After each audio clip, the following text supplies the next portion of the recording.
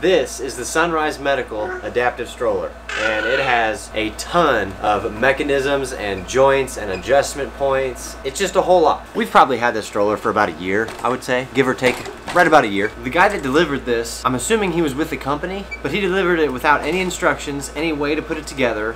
He didn't show me any way to adjust anything on it. He just basically showed me how to take the top off, how to fold it up, and that was basically it. So basically I had to figure out how to make all the adjustments on this thing by myself, which is a good way to learn, but it took a long time to figure this thing out. This is definitely gonna be a slight review of the product too because it's really expensive, but for the little issues that I've had with it, it should be cheaper. Okay, to get started, the tools that you're gonna need to do any type of adjustments on this thing, like real adjustments, not like just moving it, tilting it and whatnot, actual bolts that need adjusted because you will have to adjust bolts with it. You're gonna need a 3 16ths, a 5 32nds, and a 5 Allen wrench. Along with that, you're gonna need Phillips head screwdriver, and I believe that's it. You could use an adjustable wrench if you wanted to take off the front wheels. Typically on any stroller, that's not something that you do. 3 16ths Allen, 5 32nds Allen, and a 5 Allen wrench, and a Phillips head screwdriver, which I have not used. I've only used the Allen wrenches. I'm gonna try to keep this as short as possible just because there's so many things that I could go over that are not really all that necessary. But I wanna keep the video short and sweet and get to the main points and the main adjustments that I've had to make while I've had this adaptive stroller. Like I said, it's a Sunrise Medical. I'll have the link to their website below. I don't know exactly the details on this specific one because I could not find this specific one. I'm sure they update them pretty regularly. But if you go to pediatric and then I think early intervention under products, you can find very similar one to this. So, alrighty, first things first, you have a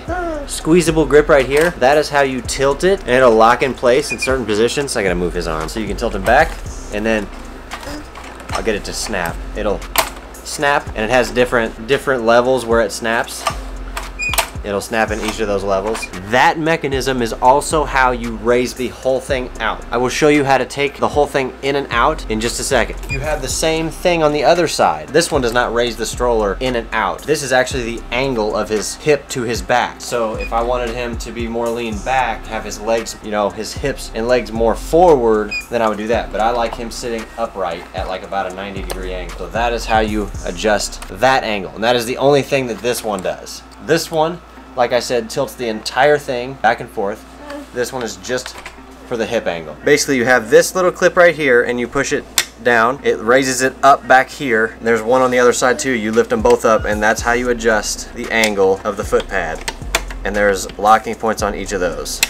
There's a little spring in there. This is the issue that I've had with this. The bolts are popping out on the inside, and I'll show you what I mean. You see how there's two bolts there? That's what there should be, is two bolts. I've had the other side, one bolt has came off. Okay, like I was saying, this side, this side has two bolts. This side does not. The bottom bolt has fell out more than one time. And I had actually put a zip tie through here to fix it. And then I ended up finding a bolt that would work, but that bolt has fell out again too. So that is where I'm at with that situation. I have another issue. See how there's a bolt right here? This is just what connects the foot plate to the side of the stroller. There's a zip tie on this side because the bolt fell out there. That is the, the only issues that I've had are with the foot pad. Other than the foot pad, the stroller is not that bad. Okay, moving on. This is where they sit. They have side supports like this. One thing I wish I knew when I first got this was how these side supports moved because they're locked. That little side piece, you press in and then it'll go in or out. It'll go out further, but then you let go and it locks right there. So like I said, gotta peel that back just like that with your fingers, push this in, and then you can adjust it in or out to put the child in the stroller. And both sides have them and they both adjust the same way. Now, say that they're both too close or too far apart and you need to adjust these. Behind this padding here is where you would adjust those bars. And there's two bolts right there. That would be where you need one of, I think it's the 532nds Allen and that's how you adjust those. Now this is how you adjust it up and down, as you can see with the bar here, but actually on the other side, if you see back in here, behind the pad, that's where those two bolt holes are, and basically that's how you slide it left and right, and then up and down from the back. But you slide left and right here if they need to go closer to their side or further away from their side, and that's the sidebars. And the tray has these clamps right on the side that just squeeze down down onto that armrest. Then their arms can go on the tray and they just click on and off. This would be the head pad, obviously. Now there is a zipper on the back because you can make adjustments to this as well. There's an Allen inside here that you can adjust the angle that it basically grabs their head, which I need to tighten that right now. You can tighten that to where it's easily moved or it's completely stiff. Just depends on how tight you want it. Going to the back of the head pad. Forward and backward with this, up and down right underneath it. You got a ball joint here to change the angle. I didn't, I'm not, oh, I do know what these are. That was for a head strap that actually comes around their forehead and holds their forehead in place. I took that off because Emmett does not like things on his head. He doesn't like to wear hats, anything like that. So I had to ditch that thing right away. Do not have that, and I do not have with me the hood because there is a hood that goes over top too. It, just like, you know, normal strollers have to block from the sun and everything like that. Does come with a hood. The hood goes in, I'll show you. The hood goes in these holes right here and you just tighten down with this right here. You don't need to bother with an Allen key with that. Thank goodness you don't have to bother with, an Allen. But yeah, that's how that goes. And like I mentioned before, I will show you how to raise it up and out. Now, if you can see right down in there is where it sits. And there's two little pins. When you grab that, that squeeze bar, like I said, you can change the angle with that. Once you squeeze that, it's actually released to be taken out. When you take it out, it just slides right out. And there's a little pin that comes out right there. You saw that? That goes in and you drop. There's a little bolt right there. That's like a little follow piece. Follow that all the way down. Push it in and let go and it's locked.